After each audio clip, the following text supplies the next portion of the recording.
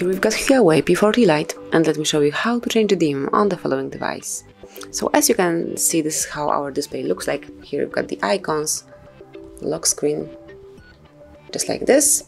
And if you'd like to change it, open the themes and now pick the one that you would like to have. So let me choose for example this one. Here you can see the icons, they are way different.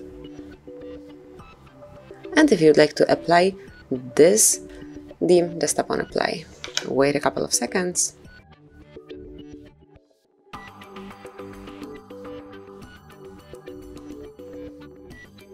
That's it. As you can see, this is your brand new display. You've got new icons, then also the different lock screen and this isn't. Then if you would like to change it again, just open themes one more time and now choose some other display, some other theme. So let me pick for example this one and now click on apply and you will see different icons and also different both home and lock screen.